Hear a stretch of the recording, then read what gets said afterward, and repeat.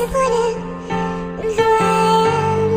here is all about my wife, my kids, the life that I live. Through the night, I was his. It was right what I did.